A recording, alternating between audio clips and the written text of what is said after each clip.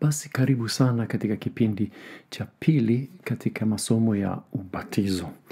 Na leo tutakwenda kuangalia mtazamo mmoja eh, kati ya hizo tatu nilizozisema. Na eh, ya kwanza ni kwamba wanaamini kwamba ubatizo ni njia ya kupata wokovu. Ya pili ilikuwa ni kwamba wanaamini kwamba ni kiingilio katika agano na ya tatu ni kwamba ni ishara ya kuwa mtu kweli ameokoka. Kwa hiyo ni hizo tatu ambazo tutazipitia. Na ya kwanza leo ni kama tunaangalia ubatizo kama neema iokoayo. Na msimamo huo au mtazamo huo unakuta sana katika kanisa kama kikatholiki na ka, katika kanisa ya kilutheri. Uh, Kati ya haya makanisa kuna mengi yanayofanana, lakini pia kuna mambo ambayo hawakubaliani au hawana mtazamo mmoja tuseme. Na ni kwamba katika kanisa katoliki wanaamini kwamba ubatizo unafanya kazi ex opere operato. Na hiyo ni ni, ni latin ina maana ya kwamba ubatizo unafanya kazi bila msaada wa nje. Yaani ni kazi ya mungu inayofanyika na mtu hachangii kwa namna yoyote. Kwa hiyo huhitaji imani, huhitaji toba, huhitaji kitu chochote kile, ubatizo unafanya kazi ya kuokoa moja kwa moja. Katika kanisa lutheri, wanasema kwamba lazima imani iwepo. Kwa hiyo imani ni sharti katika kanisa ya kilutheri.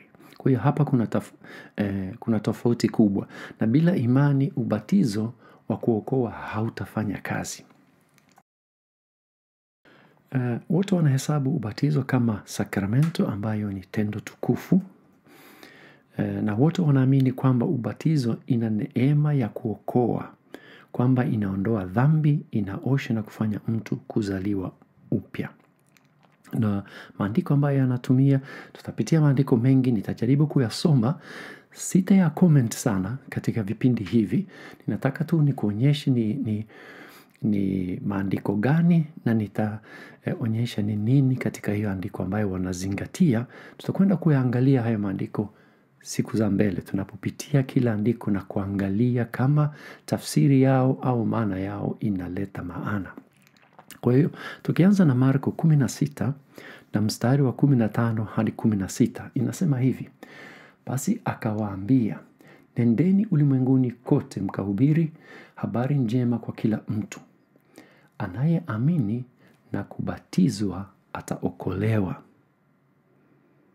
Kwa hiyo hapo wanasema, inasema anayeamini na kubatizwa ataokolewa. Tukiendelea kusoma mpaka mwisho wa aya inasema asiyeamini atahukumiwa. Kwa hiyo hiyo ni ni sehemu ya kwanza. Ya pili ni Yohana tatu na mstari wa tatu hadi saba na hapo sitasoma ni ni sehemu ndefu sitasoma yote. Wakati ni sehemu kubwa nadhani sitasoma yote utaweza kwenda kusoma mwenyewe. Uh, Lakini inasema hivi pale ambapo wanazingatia inasema mtu asipozaliwa kwa maji na kwa roho hawezi kuingia ufalme wa mungu. Na hapa maji na roho ni kama vile maji na kazi ya mungu inayofanya kazi kwa pamoja kumwokoa mtu ndio wanazingatia hapa. Halafu Petro wa kwanza mstari wa tatu hadi ishirini na ishirini na moja hapa inaongea juu ya wakati galika ilipokuwa Nuhu unajua alijikomboa katika safina. Na hapa tunasoma kwamba watu wanane waliokoka kwa maji. Mfano wa mambo hayo ni ubatizo unaowaokoa ninyi pia siku hizi. Okay? Kwa hiyo hizo ni sehemu tatu. Na ukiyasoma kama vile wanavyoyatumia inaleta maana kidogo si ndio? Lakini mara nyingi tunaposoma biblia tunahitaji kuangalia kitu inaitwa context. yani muktada wake katika maongezi yanayoleta hiyo hoja na hiyo tutaifanya baadaye. Lakini napenda upate kusikia hoja zao na maandiko yao kila sehemu. Na ninaposema yao ni kwa sababu mimi msimamo wangu labda niseme hivyo mara moja. Mimi msimamo mimi ni katika ubaptisti. Sawa, hiyo ni imani yangu. Lakini ninafahamu kwamba hao watu wanaokuwa na imani hiyo si kwamba wana imani hiyo kwa sababu hawataki kufuata neno la mungu hapana. misimamo yote ambayo tutakuwa tunayapitia yana msingi katika neno la Mungu na imani ya kwamba ni msingi sawa sawa kwa wale ambayo wanaoshikilia. Ni watu ambao wanapenda kumfuata Mungu, ni watu ambao wanampenda Yesu. Kwa hiyo sio kwamba ah, unajua hawa watu bwana, mimi nimekulia katika kufahamu kwamba watu ambao hawaamini kama mimi, ninawaona kama watu ambayo hawafai, hawataki kujua na kufuata neno la Mungu. Lakini zaidi ambavyo nimejifunza, nimekutana na watu kutoka eh, madhehebu mbalimbali ambayo kwa kweli wanampenda Yesu sana. Lakini wanayo imani ambayo ni tofauti yangu.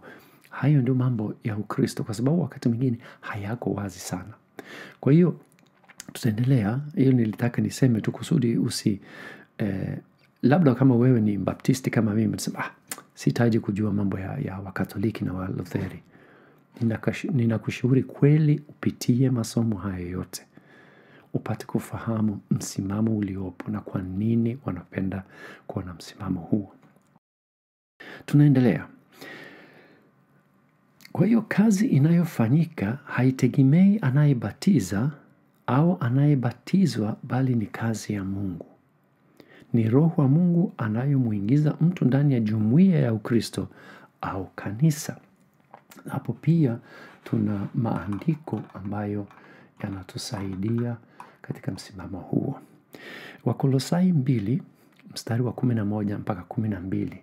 Katika yeye mtahiriwa kwa tohara isiyofanyika kwa mikono, kwa kuwa mwili wa nyama kwa tohara kuuvua mwili wa nyama kwa tohara ya Kristo, mkazikwa pamoja naye katika ubatizo, na katika huo mkafufuliwa pamoja naye kwa kuziamini nguvu za Mungu aliyemfufua katika wafu. Hiyo ni sehemu ya kwanza. Halafu Wakorinto wa kwanza sura ya kumi na mbili na mstari wa kumi na tatu na ninasoma sehemu pale. Sisi sote tulibatizwa kuwa mwili mmoja. Kwa hiyo inatuingiza katika mwili wa Kristo, inatuingiza katika jumuiya ya Kikristo. Na, na mwisho hapa tutasoma eh, sehemu katika Warumi sita na mstari wa, kumi, wa kwanza hadi wa sita na ninasoma sehemu kuanzia katikati ya tatu eh, na mstari wa nne. Tuliobatizwa katika Kristo Yesu tulibatizwa katika mauti yake. Basi tulizikwa pamoja naye kwa njia ya ubatizo katika mauti yake, kusudi kama Kristo alivyofufuka katika wafu kwa njia ya utukufu wa Baba, vivyo hivyo na sisi tuende katika upya wa uzima. Kwa hiyo tunaona katika ubatizo kuna kitu kinafanyika ambayo inatufanya tuweze kuendelea katika upya wa uzima. Hiyo ni, ni, ni kama vile tuna tunaokolewa katika ubatizo. Pamoja na imani ya kwamba ubatizo inatuunga na Kristo daima, pia ubatizo ni ukumbusho kwa yule ambaye alibatizwa. ali Na ingawa ubatizo ulifanyika mara moja, lakini anakumbushwa juu ya muungano wake na Mungu anapokumbushwa juu ya ubatizo uliofanyika. Na bila shaka hapo kwa sehemu kubwa utakuta kwamba eh, ubatizo ambayo unaleta eh, eh, unayoleta ukumbusho kwamba hiyo ni kama vile ulibatizwa kama mtoto mchanga. E, mtu ambaye anajiunga na makanisa kama ni Lutheri au kama ni Catholic akiwa mtu mzima, hapa ile imani ipo moja kwa moja na ana, anabatizwa na, na hapo hiyo sio tatizo. Tatizo inakuwa ni yule mtoto mchanga inakuwaje, kwa sababu yeye ni vigumu yeye peke yake kuamini kwa sababu si rahisi mtoto mdogo wa, wa, wa siku chache kuwa na ufahamu wa kuweza kuamini, na kuna wanaitatua kwa njia fulani, ingawa ina, in, in, ina, ina ugumu kidogo, lakini wanayo njia ya kuweza kuielezea. Wakati umebatizwa, ule ufahamu ya kwamba umeungana na Kristo katika kifo chake na katika kufufuka kwako inakutia ina, ina moyo na ina, ina, inaleta tumaini ya kwamba umeokolewa. Katika e, mtazamo huo kama nilivyotaja, kuna makundi mawili wanayobatizwa. Kuna wale ambayo wamekuja kujiunga na kanisa wakiwa watu wazima au watu tuseme wenye ufahamu wa kuweza kukata shauri ya kuwa Mkristo, wanabatizwa. Na hapo unakuta sehemu ambayo yanatajwa ni kama Matendo mbili arobaini na moja waliolipokea neno lake wakabatizwa. Unaona, waliweza kupokea neno wakabatizwa. Matendo pia eh, 8, 35, 38 eh, akamhubiria habari njema ya Yesu. Halafu ni, ni wakati Filipo anasafiri ana na yule eh, yule mkuu wa, wa Misri eh, katika gari yake anamfafanulia maneno ya Mungu, anamweleza Injili na yule jamaa anaanza kuamini. Kwa hiyo anafika sehemu ambapo kuna maji, anasema tazami maji haya haya, ni nini kinachonizuia nibatizwe? Halafu hapa katika eh, hapa kuna, kuna tafsiri moja ambayo ninayo hapa ambayo haipo katika eh, kila andiko eh, kila Biblia ni, ni mstari wa 37 na inasema hivi: Filipo akasema, ukimwamini kwa moyo wako wote inawezekana. Akajibu akanena, naamini ya kwamba Yesu Kristo ndiye mwana wa Mungu. E, e, e, aya hiyo ipo katika baadhi ya tafsiri, lakini haiko katika tafsiri zote. Lakini inavyoonekana, Filipo alimhubiri, jamaa akaamini na wakaweza kubatizwa. Sehemu ya pili ni wale watu wachanga, wale watoto wachanga, na hapo tutakwenda kuangalia uh, utetezi wake uh, katika mstari wa kwanza ni Marko kumi na mstari wa kumi na tatu hadi kumi na sita na tutasoma e, mstari wa kumi na sita kwa sababu hapo ndo, ndo kiini chake. Akawakumbatia, akawaweka mikono yake juu yao, akawabariki. Kwa hiyo anasema kwamba Yesu alihusika na watoto pia, kwa sababu wazazi walikuwa wana, wanawaleta kwa Yesu na Yesu alikuwa anawapokea. Akasema utawala wa Mungu ni kwa ajili ya watu kama hao. Halafu tukiendelea tunapata sehemu zingine pia E, katika Matendo kumi na sita na kumi na tano e, katika e, Matendo kumi na sita thelathini na moja na thelathini na nne na kumi na nane na, na nane tunasoma kwamba yeye na nyumba yake walibatizwa, wakamwambia mwamini Bwana Yesu nawe utaokoka pamoja na nyumba yako. Kisha akabatizwa yeye na watu, na watu wake wote e, wakati huo huo na hapa kuna reference nyingi ambazo zinaongea juu ya kwamba walibatizwa nyumba nzima, na hii wanasema kwamba katika mtazamo huu ya, wa, ya, ya kubatiza watoto wanasema kwamba bila shaka katika nyumba kulikuwepo watoto wadogo. Inaleta maana kuamini kwamba kulikuwepo watoto wadogo ambao pia walikwenda kubatizwa, kwa sababu ukisema nyumba yake yote ni kwamba wote waliokuwepo katika nyumba yake. Kwa hiyo wanaamini kwamba zoezi ya kubatiza watoto ilikuwepo tangu mwanzo wa kanisa. Sawa? Halafu kuna, kuna kitu kingine ambayo inaleta sababu ya kubatiza watoto. Ni kwamba tunaambiwa kwamba wote tunazaliwa katika dhambi ya asili. Kwa hiyo tunahitaji huu ubatizo kwa sababu kuondoa hiyo dhambi kusudi tukae safi mbele za Mungu na hapa kuna Zaburi nafikiri ni hamsini na moja eh, ni, tutakuja kuiangalia katika kipindi kingine nafikiri, lakini sabu, Zaburi hamsini na moja Daudi anasema kwamba mimi nimezaliwa katika dhambi, na hata mafundisho ya Paulo sehemu nyingi inasema kwamba eh, mlikuwa katika dhambi. Ni kama vile sote tunazaliwa katika dhambi. Hiyo ni, ni, hiyo ni doctrine ya Kikristo. Kwa hiyo hiyo, hiyo inaeleweka moja kwa moja kwamba ni, ni, ni doctrine. Katika theolojia ya Kikatoliki sasa, mtoto asiyebatizwa akifa hawezi kuingia mbinguni, na ilikuwa hivyo kwamba walikuwa na imani ya kwamba yeye e, watoto ambayo walifariki wakati wanazaliwa au wakati wa, hawajapata e, ubatizo walifika katika sehemu fulani ambayo walikuwa na, wanaita limbus infantinum. Ni sehemu ambayo hawa ni kama vile wa, wanawekwa tuite kama vile sehemu ambayo wana, wana, wanaendelea kuishi, sio mbinguni, sio jehanamu, lakini sehemu ambayo haina fahari ya mbinguni kama vile ilivyo na raha na mambo yote na ukaribu wa Mungu na kila kitu, lakini pia sio kubaya kama jehanamu. Lakini nilipata link moja ambayo inasema kwamba mwaka elfu mbili na saba fundisho hiyo ni kama vile waliondoa wali katika kanisa Katoliki. Kwa hiyo nafikiri kwa sasa hivi eh, hiyo theolojia kwamba wanapelekwa sehemu fulani na bila shaka watakuwa wameondoa kwa sababu uh, hakuna hakuna tuseme support katika biblia juu ya hiyo isipokuwa nafikiri kanisa limejaribu ku, kubuni namna ya kuweza kutatua tatizo inayokuwepo eh, ambayo inaendana na ulazima wa kubatizwa kusudi upate wokovu na yule ambaye hajawahi kubatizwa na ni mtoto wa mkristo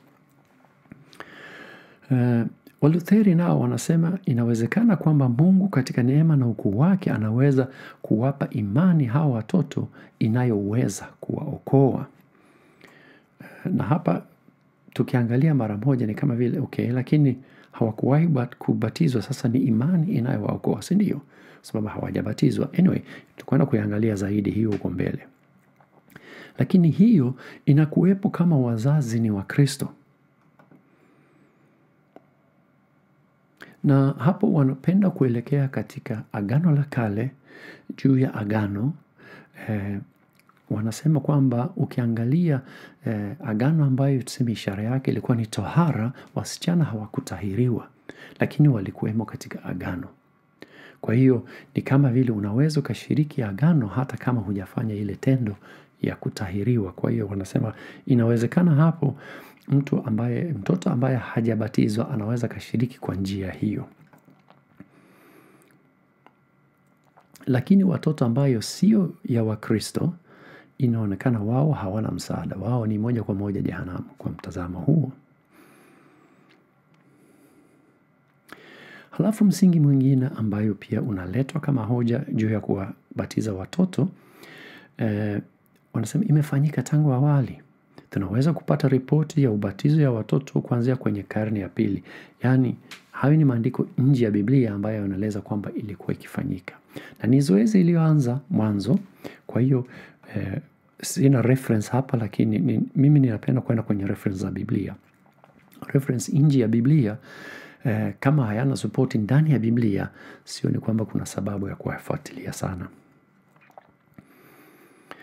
Uh, na pia kwa vile hakuna mafundisho kamili katika biblia juu ya swala hili hakuna fundisho kamili inayosema kwamba watoto wasibatizwe mpaka wanafika umri wa kuweza kuamini. Hakuna sentensi kama hiyo katika biblia. Wao wanaona bora kuwabatiza kusudi kama kule kuzaliwa katika dhambi inaweza ikawaathiri bora tuwapitie katika hiyo zoezi kuliko tusifanye. Unaona? Na hiyo nafikiri inawezekana ni, ni, ni kitu ambayo imewasukumia kupata kujaribu kujenga imani kama hiyo ni kama vile labda nitumie neno kama bima ambayo unaitumia kusudi kwa vile hatujui bora tujaribu kufanya hiyo hiyo kitu ambayo huenda itaweza kusaidia. Sijui kama ninaeleweka hapo waluteri pia wanaeleza, wanafahami upinzani uliopo kati ya msimamo wao wa ubatizo na fundisho ya kuhesabiwa haki kwa imani peke yake. Hapa, hapa kuna mgongano fulani. Kwa sababu kama eh, kuhesabiwa haki kwa imani peke yake inawezekana ni kwamba unaokoka kwa imani peke yake. Lakini kama ubatizo unaokoa bado unahitaji kubatizwa na hapa kuna aina fulani ya mgongano. Lakini wanajaribu kuitatua. Sio kwamba wanaiachia hivi hivi. Wanajaribu kuitatua. Utatuzi mmoja ni kwamba watoto wanaobatizwa wanao imani hata kama bila kufahamu. Wanasema imani si lazima iweze kutolewa hoja au kufahamika kwa mwenye imani. Yaani kama vile ina inakuwemo ndani ya mtu kwa, kwa njia fulani ya muujiza okay? Na ipo ingawa haionekani. Hai na wanasema hivi luther mwenyewe ambaye ni baba yao alisema hivi kwamba unajua imani yako inaendelea kuwepo ndani yako hata kama unalala usingizi. Ni kwamba huna habari nayo kiufahamu lakini bado inaendelea.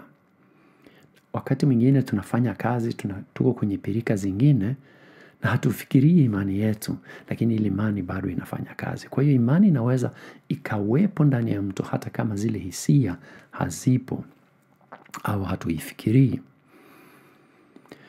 Uh, Yesu pia anafundisha kwamba watoto wanaweza kuwa na imani, na hapa tunayo reference ya Biblia ni na nane na mstari wa tatu hadi tano. Anasema hivi, nawaambieni kweli, msipogeuka na kuwa kama watoto, hamtaingia kamwe katika ufalme wa mbinguni. Yeyote anaye eh, anayejinyenyekesha kama mtoto huyu, huyu ndiye aliye mkubwa katika ufalme wa Mungu. Kwa hiyo inaonekana watoto ni mfano wa jinsi sisi watu wazima tunavyotakiwa kuwa. Kwa hiyo hiyo ni, ni, ni, ni utetezi mmoja. E, halafu ile sehemu ambapo Yesu anawabariki watoto e, anasema hivi katika Mathayo kumi na tisa kumi na nne Marko kumi na kumi na nne Luka kumi na nane kumi na sita hadi kumi na saba anasema wacheni watoto wadogo waje kwangu wala msiwazuie, kwa maana walio mfano wa hao ufalme wa mbinguni ni wao. Halafu kuna sehemu ya, ya, nyingine ambayo wanaileta pia ni, ni katika Luka moja na kumi na tano. Ni pale Mariamu anapoenda kum, kumtembelea eh, hiyo jina limenipita sasa. Mama, eh, mzazi wake na, na Yohana Mbatizaji. Na wa, hawa wakina mama bado watoto wako ndani ya tumbo, tumbo zao. Lakini wanapokutana eh, yule eh, Yohana anashtuka ndani ya tumbo la mama yake. Kwa hiyo hii wanasema kwamba inawezekana mtoto mchanga hata akiwa tumboni anaweza kahisi uwepo wa Mungu. Unaona, na katika sehemu hii unakuta kwamba eh, yule mama anasema kwamba amenipotea jina. Jamani, ni aibu, lakini ndo hivyo. Uh, anasema kwamba eh, mtoto ameshtuka mtumboni mwangu amekutana na bwana wake. Unaona, kwa hiyo hapo wanasema kwamba hii inaleta maana kusema kwamba hata mtoto akiwa mdogo sana anaweza kahisi mambo ya kiroho, kwa hiyo angeweza kuwa na imani pia. Halafu mwisho ni eh, waraka wa kwanza wa Yohana na eh, sura ya pili na mstari wa kumi na tatu ambaye inasema hivi nimewaandikia ninyi watoto kwa sababu mmemjua Bwana. Kwa hiyo ina maana kwamba watoto wanaweza wakamjua Bwana. Halafu sehemu ya pili ni kwamba wanaamini kwamba imani ya wazazi au imani ya kanisa inaweza ikatumika kama vile kusaidia huyu mtoto, ni kama vile anaazima imani ya wengine wakati wa ubatizo, na hiyo inafanya kazi katika ubatizo. Kwa hiyo hapa itakuwa ni, ni imani wakilishi, yaani kuna watu wanawakilisha huyu mtoto kwa imani zao mbele za Mungu, na hapo yote anafanya kazi katika huo ubatizo. Hayo mambo yote ya kuhitaji imani kwa huyu mtoto au mambo mengine, hiyo sio shida katika kanisa Katoliki, kwa sababu wao kama tulivyosema, wanasema ubatizo unafanya kazi ex opere operato, yaani inafanya kazi bila msaada ya mtu yoyote mwingine. Kwa hiyo huhitaji imani. Kinachohitajika tu ni kwamba mtu anamleta huyu mtoto na huyu na kuna mtu anayembatiza. Nafikiri itabidi kuwa ni, ni padre au mchungaji, kitu kama hiyo. Sijafahamu structure yao kamili, lakini nadhani ni padre ambaye anabatiza. Uh, katika mtazamo huo Lutheri kikatholiki namna ya kubatiza si ya msingi sana. Unahitaji maji, lakini baada ya hapo hakuna masharti, na ndio maana wameifanya kuwa nafikiri nyepesi zaidi. Kuna sehemu katika kanisa ambapo kuna rasmi ambayo una, unakuwa na maji kidogo, unanyunyiza, unamwagia. Wakati mwingine, sa nyingine wanachukua tu kitambaa na wanaiweka hapa. Kuna njia mbalimbali na wanasema si, hiyo siyo tatizo, kwa sababu ubatizo wenyewe ndio eh, wa muhimu, lakini sio kwamba unahitaji kudidimiza. Ni kweli ubatizo maana yake ni, ni kuzamisha, ni kudidimiza chini ya maji, lakini neno inaweza kuwa na maana nyingine kama vile kuosha, kama vile kusafisha, na tutaona tutakwenda kuangalia utumiaji wa neno hili katika maandiko mengine. Eh, kwa hiyo ina, ina utumiaji mpana katika Biblia, ingawa maana yake rasmi ni kuzamisha. Na kwa mtazamo wao wanasema kwamba vile hatujui kwa uhakika eh, maana au matumizi yaliyokuwa yakifanyika wakati wa ubatizo, bila shaka hiyo sio muhimu sana. Kwa hiyo tunaweza tukatumia njia mbalimbali mbali, na bila shaka ndio sababu pia kwamba eh, katika makanisa hayo wanatumia labda tuseme maji kidogo, wanamwagia, wananyunyiza au wana sijui sprinkle inaitwa kwa kwa Kiingereza au wanatumia tu kitambaa ambayo kimeloweshwa na wanaiweka eh, kwenye nani kwenye kichwa cha huyu mtoto. Kwa hiyo wanaitumia kwa sababu wanaona kwamba hakuna maelezo kamili katika Biblia licha ya neno tuseme man, eh, neno ya, ya msingi wa neno kwamba unajua uki lazima uwe na maji mengi udidimize, na ndivyo ilivyokuwa inafanywa kila wakati. Na eh, kuna utetezi wanasema kwamba kwa, kwa mfano siku ya, ya Pentekoste watu elfu tatu kweli waliweza kubatizwa na, kwa siku moja. Si watu wengi hao? Hiyo ni, ni, ni hoja moja. Au yule eh, eh, mtunza gereza usiku ule waliweza kwenda kwenye mto au sehemu ambapo ilikuwa na maji kiasi ya kuweza kuwabatiza kwa kuwadidimiza. Basi hoja kama hizo zinatumika na ina, inawafanya waamini kwamba eh, wingi wa maji sio muhimu, isipokuwa maji inahitajika kuwepo.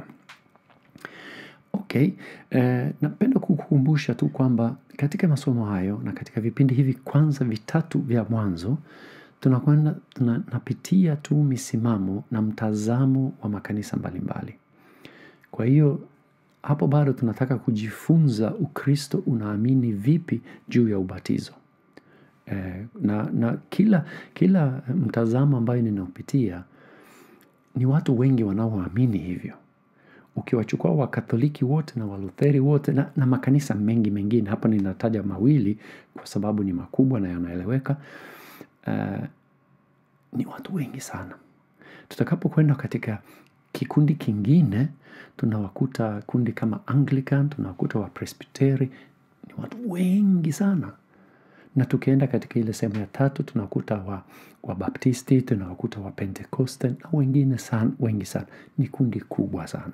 Kwa hiyo, kila msimamo ina wafuataji wengi sana.